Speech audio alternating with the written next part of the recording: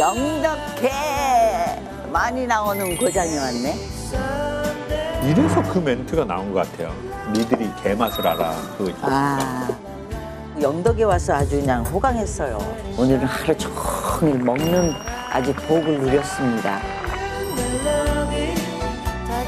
딸기가 왔어요. 뒷동찰기 맛이 좋은 영덕 딸기 딸기가 왔어요.